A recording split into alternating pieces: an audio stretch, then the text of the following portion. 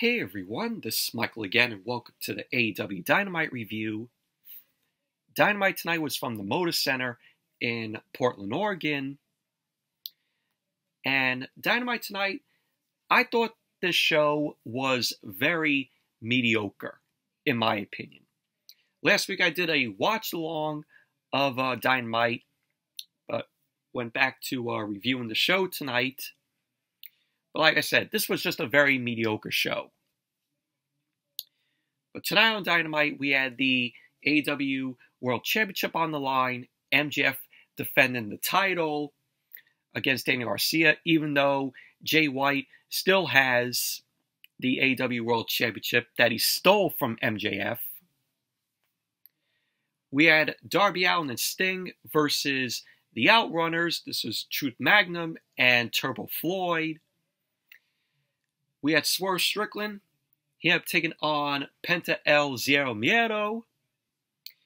The Ring of Honor World Television Championship was on the line where Samoa Joe defended the title against Keith Lee.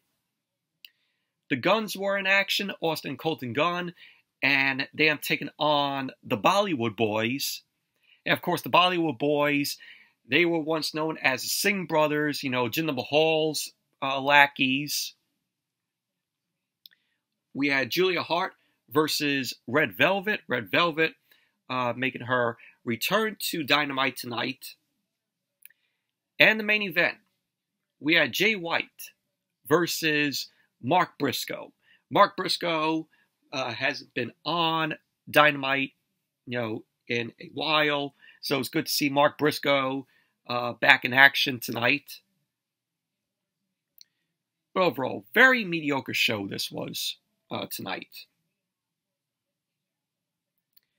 But anyways, let's jump right into the review. Dynamite opened up tonight, and we saw Tony Schiavone. Tony Schiavone was backstage, and he was talking to MJF. So MJF ended up addressing, you know, Bullet Club Gold. And then MJF was speaking to Adam Cole, who was on a TV. Adam Cole ended up telling MJF to take up Samoa Joe on his offer. So MJF ended up telling Adam Cole that he will handle Bullet Club Gold after he handles Danny Garcia. So Danny Garcia ended up appearing. MJF ended up revealing that he accepted the match tonight because he sees himself in Daniel Garcia.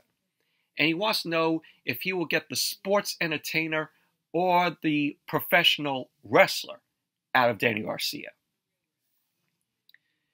So then we had Adam! Adam! Roderick Strong and the Kingdom. This was, of course, Mike Bennett, Matt Taven, and they up talking trash on MJF.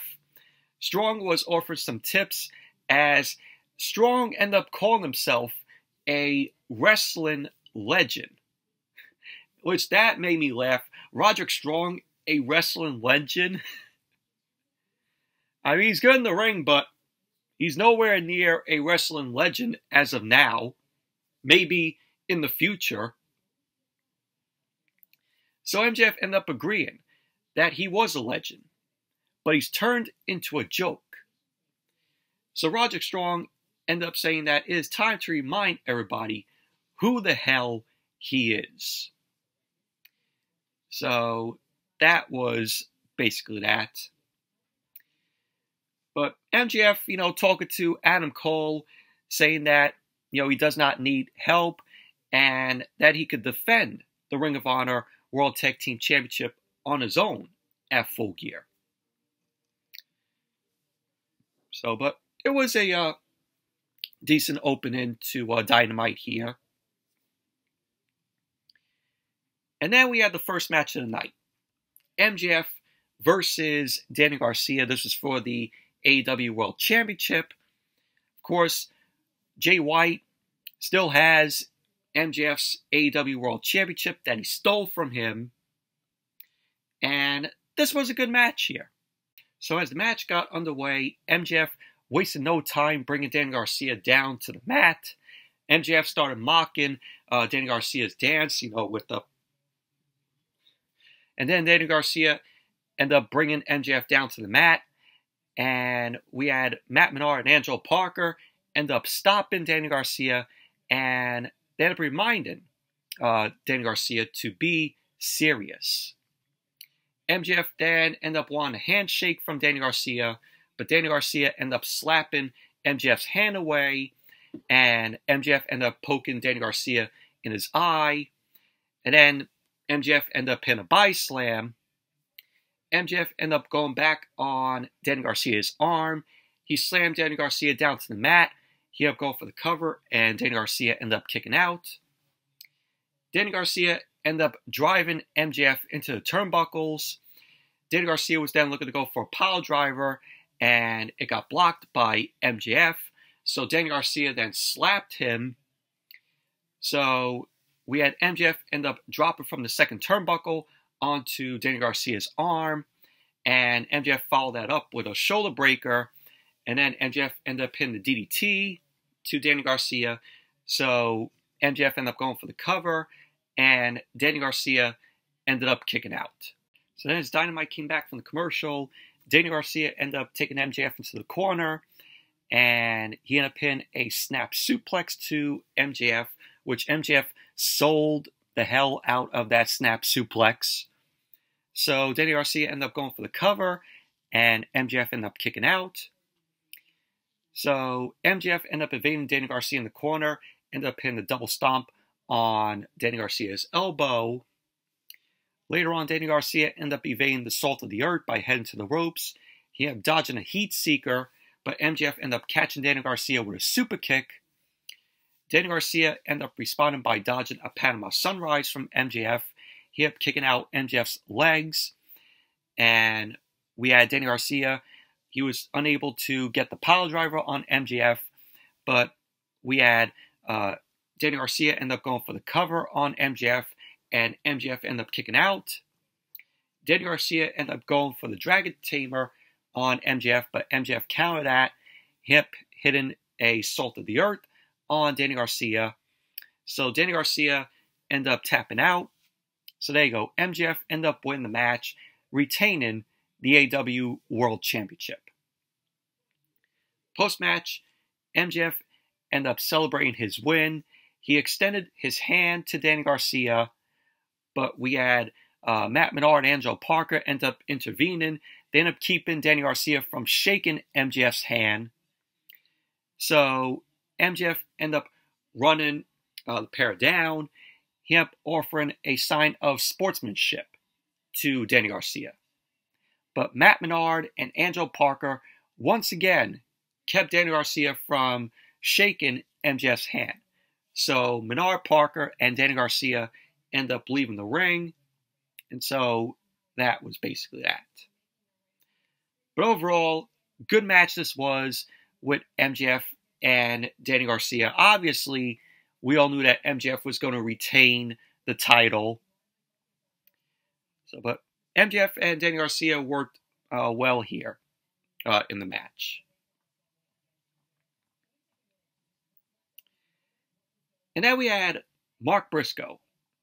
Mark Briscoe ended up cutting a promo and he up saying that he is ready to take on Jay White and take the Switchblades shot at the AEW World Championship. So that was that. And then we had Darby Allin and Sting versus the Outrunners, Truth Magnum and Turbo Floyd. This was a squash match. Do I really need to go over uh, what happened in this match? So Darby Allin and Sting won the match. Sting ended up locking in the Scorpion Deathlock on Turbo Floyd. Turbo Floyd tapped out, and that was that. Darby Allin and Sting ended up winning. Like I said, squash match this was. And obviously, we all knew that Darby Allin and Sting were going to win it. And I'm like, this is what you give Darby Allin and Sting?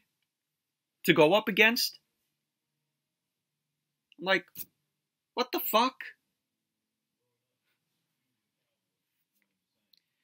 Yeah, like I said, squash match this was. Moving on. we saw Tony Schiavone, and he was interviewing uh, Timeless, Toni Storm, and the AEW Women's World Champion Hikaru Shida. This interview was conducted earlier in the day. Toni Storm confirmed that she has requested an AEW Women's World Championship match against Hikaru Shida. Hikaru Shida then ended up asking what happened. Toni Storm ended up blaming Hikaru Shida for it due to what happened at uh, All Out at Wembley Stadium. And that she wanted to be the first three time AEW Women's World Champion. She kept saying Hikaru happened again.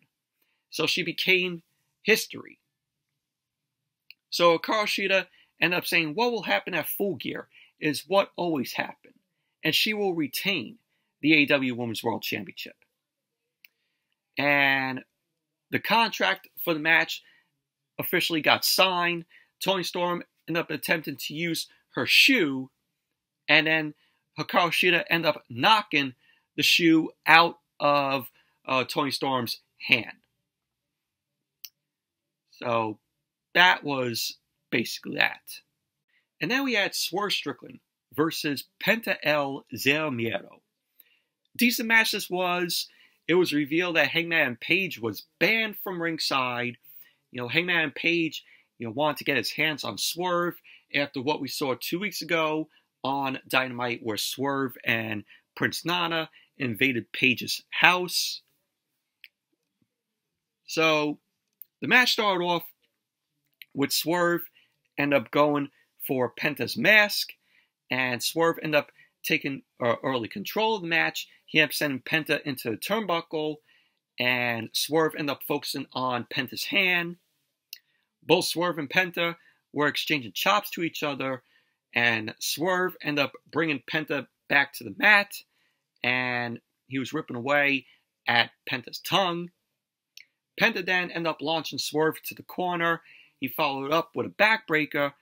Swerve ended up playing possum, which allowed Swerve to counter Penta's dive, and he ended up sending Penta into the uh, ring steps. Swerve then ended up trying to dive out of the ring, but we had uh, Penta end up getting sent onto the ring apron, and he immediately bounced back to attack Swerve. Penta then delivered some chops outside the ring. Swerve ended up avoiding one of the chops as Penta ended up slapping the ring post. So both Penta and Swerve end up going back in the ring. They end up going back and forth with some moves, and they end up both dropping down after a double clothesline. So Penta then end up dropping Swerve into the ring apron. End up heading back to the ring, and Penta end up hitting a diving foot stomp to Swerve. So Penta end up going for the cover. Swerve end up kicking out. So at the end of the match, Swerve end up landing a shot to the back of Penta's head, and then Swerve end up hitting the stomp to Penta. Swerve end up going for the cover. There you go. Swerve Strickland ended up winning the match. Post match, Hangman Page ended up appearing. He had a chair in hand. He ended up delivering a chair shot to Swerve's back. And then security ended up coming out to separate Page and Swerve. But Page ended up attacking security with the chair. Page then ended up launching Swerve off of the ramp. And Page then ended up sending Swerve through a table on the floor. And so Swerve was laid out after that spot. So that was that. But overall, decent match between Swerve and Penta here.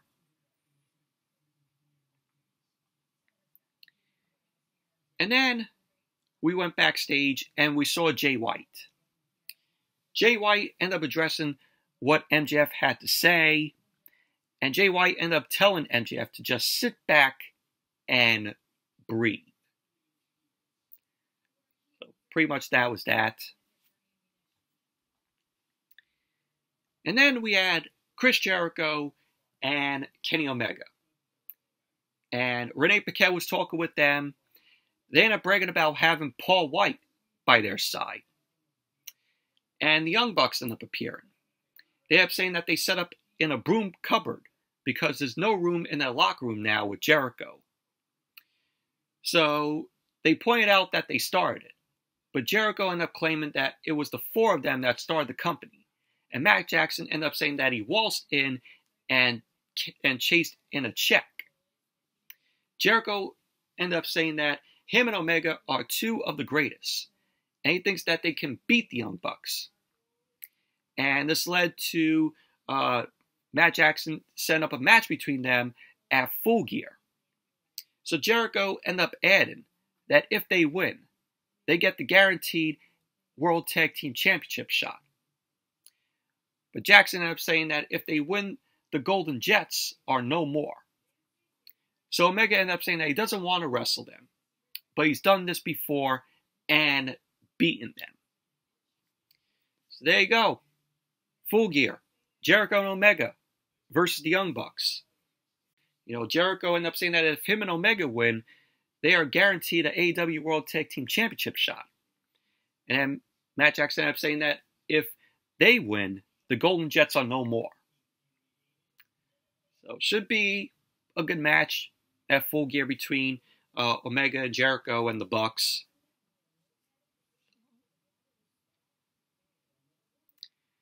And then we add Samoa Joe versus Keith Lee. This is for the Ring of Honor World Television Championship.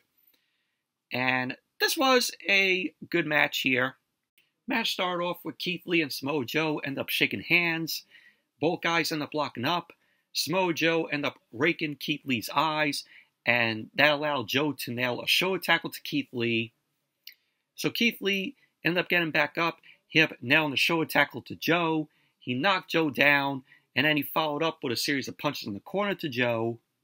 Joe fought back with a series of punches himself to Keith Lee.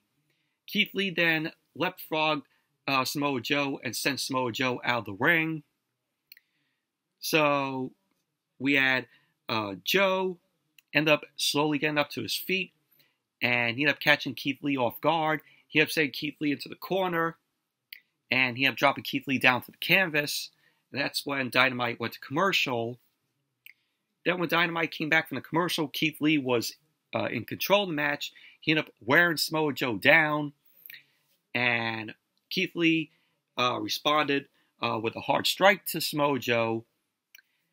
So we had Keith Lee end up stopping a senton uh, from uh, Joe. He ended up taking Joe down with a massive German suplex, which sent Joe down to the canvas. So we had Keith Lee end up uh, delivering a pop-up power bomb to Joe. Keith Lee ended up going for the cover, and Samoa Joe ended up kicking out. Keith Lee then ended up bringing Joe back to his feet. He lifted uh, Samoa Joe up, but Joe ended up turning that into a rear naked choke. And then Joe locked in the Coquina clutch. Keith Lee was trying to fight out of the Coquina clutch, but the, Co- the Coquina clutch was locked in tight. And Keith Lee ended up passing out. So there you go. Samoa Joe ended up winning the match, retaining the Ring of Honor World Television Championship. Post match, Joe ended up demanding the mic. And so he got on the mic, he talked about his hunger for the AW World Championship. So Samoa Joe ended up announcing that he is vacating the Ring of Honor World Television Championship. Samoa Joe then laid the Ring of Honor World Te- Television Championship down, and he up saying that the next gold he will hold is the AW World Championship whether Max likes it or not. So that is what Samoa Joe had to say. Samoa Joe is focusing on the AW World Championship. But now that the Ring of Honor World Television Championship is vacated, what do you think they're going to do to crown a new Ring of Honor World Television Champion? I think that they are possibly going to do a tournament I think a tournament will be good to crown a new uh, champion. So we'll see what happens with that. But overall, good match between Samoa Joe and Keith Lee. And then we saw Orange Cassidy. Orange Cassidy was backstage, and he was saying that Jon Moxley is the only person he's thought about since he left him in a pool of his own blood. He kept saying that he picked up the pieces of the International Championship that Moxley dropped. He kept saying now holding it, he doesn't feel the same, as he has to beat Moxley to be the International Champion. He knows he is. And at full gear, he will beat Moxley. So there you go. It's going to be Orange Cassidy versus Moxley for the International Championship. You know, Orange Cassidy very very confident that he will beat Jon Moxley. Should be a good match at full gear between these two. And then we had the Guns, Austin and Colten Gunn. They were accompanied by Juice Robinson, and they have taken on the Bollywood Boyz. The Bollywood Boyz, they were formerly known as the Singh Brothers when they were in WWE. You know, they were Jinder Mahal's uh, lackeys. And this was a quick match here. This match lasted one minute. So we had the Guns end up hitting the 310 to Yuma, and they end up winning the match.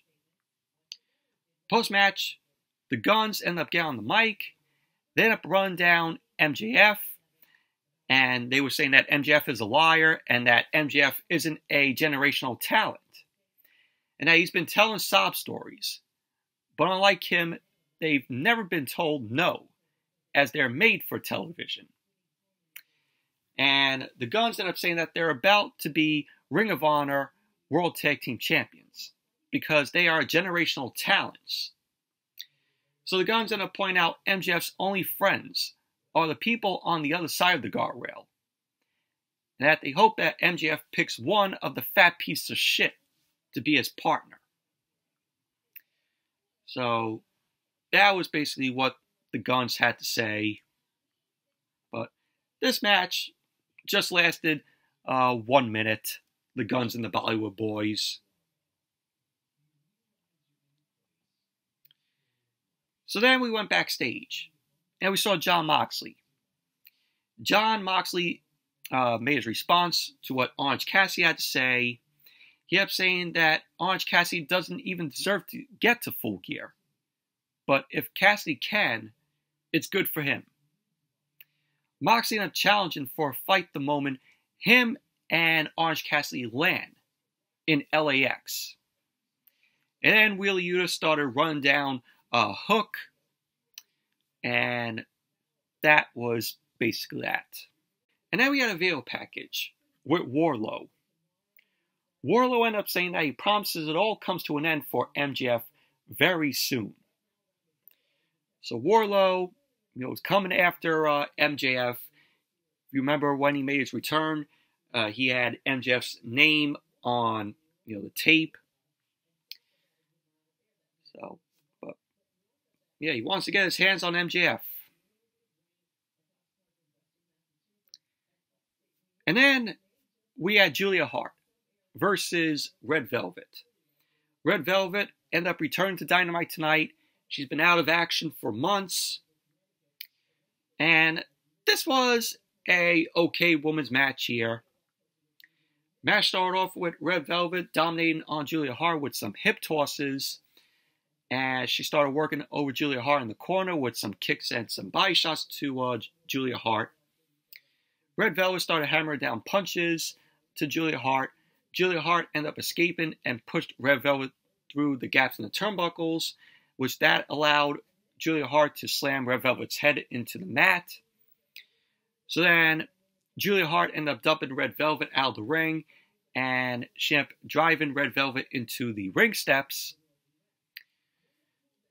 So then we had uh, Julia Hart end up tripping Red Velvet up onto the canvas, and we had uh, Red Velvet end up fighting right back, sending uh, Julia Hart into the corner.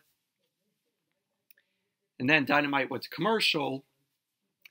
Then when Dynamite came back from the commercial, Red Velvet was in control of the match. She started to fight back at Julia Hart. She had taken her down. And Red Velvet ended up in a bulldog, which drove Julia Hart face first to the canvas. Julia Hart ended up heading to the ropes, and she got cut off by Red Velvet. And Red Velvet ended up in a standing moonsault, you know, which looked good. So Red Velvet ended up going for the cover. Julia Hart ended up kicking out. So Julia Hart ended up heading to the corner as Red Velvet was struggling to her feet. So Red Velvet ended up hitting Julia Hart across the back on the turnbuckle. She then ended up hitting a modified uh, iconoclasm on Julia Hart, and she ended up going for the cover, and Julia Hart ended up kicking out. So at the end of the match, Julia Hart ended up climbing up top for a moonsault press, and she ended up hitting that moonsault press onto Red Velvet. Julia Hart ended up going for the cover, and there you go. Julia Hart ended up winning the match.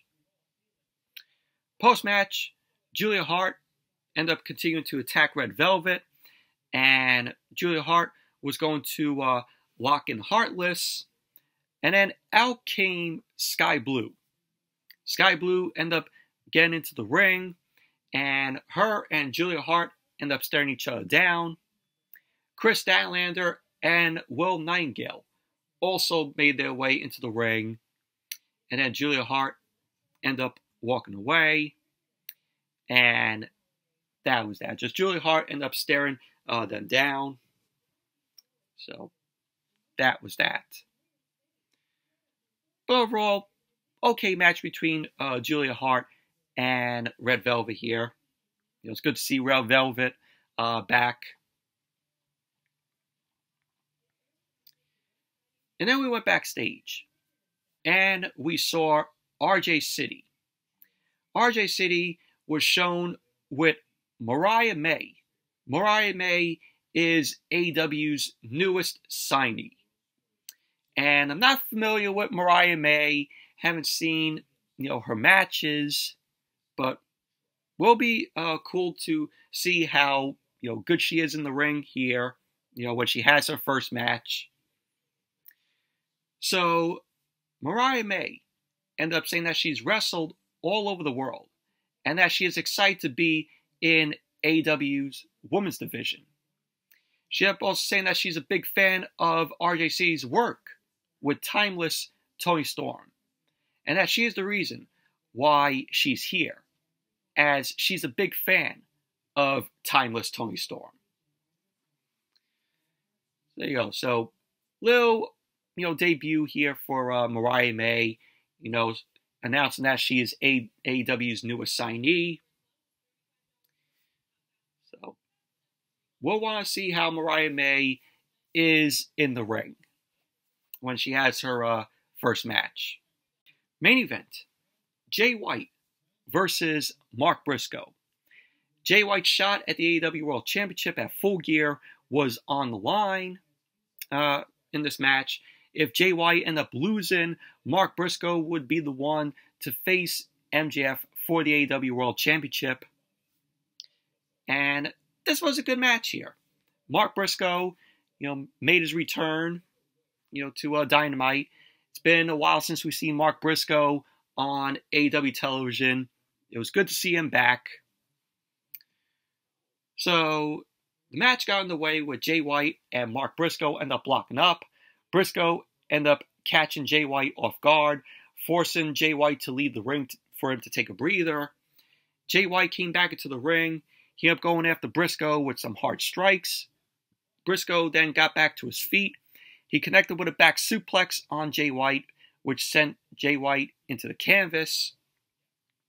So we had uh, Briscoe end up going for the cover, and Jay White ended up kicking out. Briscoe then ended up sending Jay White up on the turnbuckle, and Briscoe ended up hitting a massive strike, which sent Jay White to the outside. And Briscoe hit a big dive on Jay White. So Briscoe ended up bringing Jay White back into the ring. He ended up going up to the top rope. Jay White ended up evading an attack by Briscoe. And then Jay White hit a DDT on Briscoe. Jay White then sent Briscoe out of the ring and White distracted the referee, and Bullet Club Gold ended up attacking Briscoe, and Dynamite went to commercial. Then, when Dynamite came back from the commercial, Briscoe was in control of the match. He started fighting back, and then he ended up getting taken down by Jay White.